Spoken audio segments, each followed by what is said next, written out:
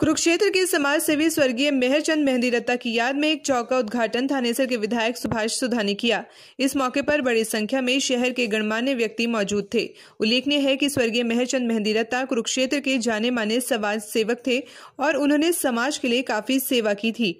उनके निधन उपरांत उनके परिवार ने कुरुक्षेत्र में चैरिटेबल डिस्पेंसरी और समाज सेवी कार्यों के अलावा अन्य कार्यों में भी बढ़ चढ़ कर भाग लिया। इस मौके पर सुभाष सुधा ने बताया कि स्वर्गीय मेहरचंद मेहंदी रत्ता को समर्पित चौराहे के उद्घाटन का प्रस्ताव जब नगर परिषद के हाउस में आया तो उसे सर्वसम्मति से सभी पार्षदों की स्वीकृति मिली। इस मौके पर स्वर्गीय मेहरचंद मेहंदी रत्ता के सुपुत्र और वरिष्ठ पत्रकार राजीव अरोड़ा, पंकज अरोड़ा सहित बड़ी संख्या में समाज के गणमान्य व्यक्ति मौजूद थे।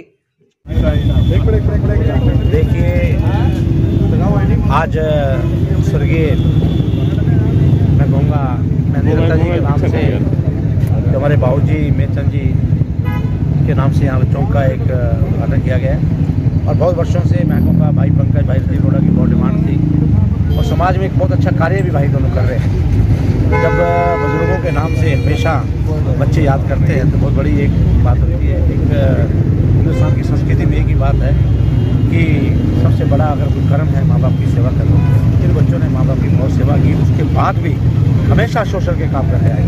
हमेशा हर साल ब्लड कैंप लगाना, इस प्रकार से गरीब बच्चों को किताबें बांधने, बहुत से कार्य बाबू जी के नाम से ये परिवार करता है रोड़ा परिवार। आज मैं दत्ता जी के इस चौक का एक हमने दिया है और उसका आज उद्घाटन किया है इस चौक को उन्हीं के नाम से यहाँ बनाया गया है। मैं इसकी पूरे परिवार को अरोड़ा परिवार को बहुत बहुत शुरुआत आज किसानों का रेल रोको आंदोलन है। देखिए किसानों का आज रेल रोको आंदोलन है। प्रजातंत्र है हर आदमी को अपना अधिकार है अपनी डिमांड वो रख सकते हैं लेकिन मैं एक बात कहूँगा किस प्रकार से प्रधानमंत्री जी ने खुले के लिए वादे करे उन्होंने किस प्रकार से कहा कि डेढ़ साल तक को हम एक्सटेंड कर सकते हैं साथ तीन करोड़ मैं कहूँगा, जो तीन करोड़ हैं, वो सारे के सारे किसानों के बेनिफिट के हैं। आप जाके देखिए कनेक्ट फ़ार्मिंग पंजाब के अंदर कितनी बड़ी कनेक्ट फ़ार्मिंग हो रही है आज तक।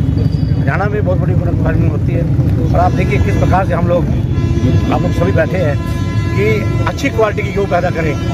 तो मेरे ख्याल से उसका रेट चार हज़ार रुपये भी हमें मिल सकता है। हम एम पी गेहूँ खाते हैं? हम सब लोग तीन हज़ार रुपये लेके। इसलिए कहेंगे इसकी जो प्रोडक्ट फ़ार्मिंग हो रही है, बहुत सी चीज़ें सरकार ने दी पहली बार।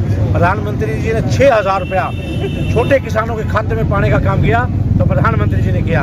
और 80 परसेंट जितने भी हमारे मैं कहूँगा इंस्ट्रूमेंट जो भी अपना एग्रीकल्चर में लगाते हैं उस पर सब्सिडी दी तो आदरणीय प्रधानमंत्री नरेंद्र मोदी जी के देन है बहुत सी चीज़ें किसानों को, हमारी आदरणीय प्रधानमंत्री जी, हरियाणा प्रदेश के मुख्यमंत्री जी, समय समय पर चिंता करके जो भी है वो देते रहते हैं। और मैं ये कहूँगा, ये कोई किसानों का इतना बड़ा, ये अधिवेशन या इतना बड़ा वो नहीं है। ये सबसे ज़्यादा जो है, जो कांग्रेसी पार्टियाँ, कांग्रेस पार्टी और बहुत पार्टियाँ, ये उनकी देन है।